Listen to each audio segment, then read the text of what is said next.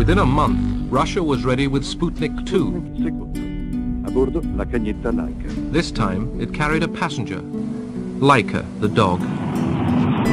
The first living creature to reach space. As a passenger in a special chamber built into the satellite frame was Laika, who had been especially trained for this flight.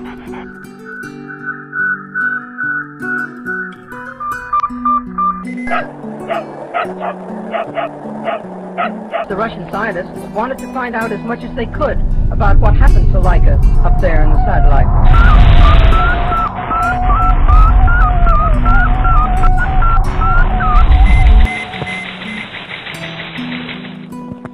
Well, the last time we, we heard the satellite was uh, around 3.15 this afternoon.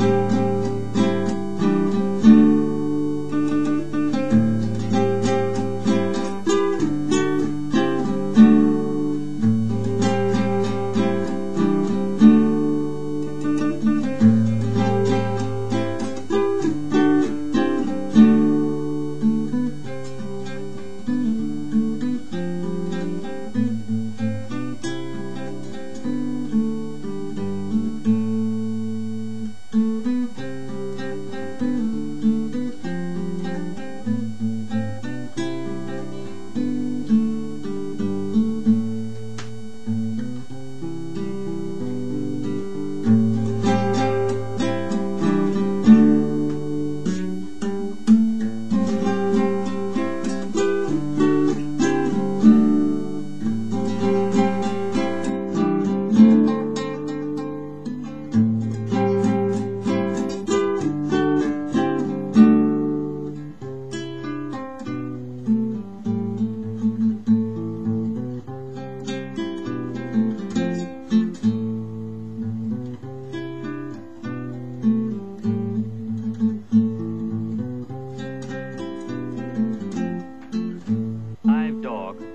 This is reportedly history's first space traveler.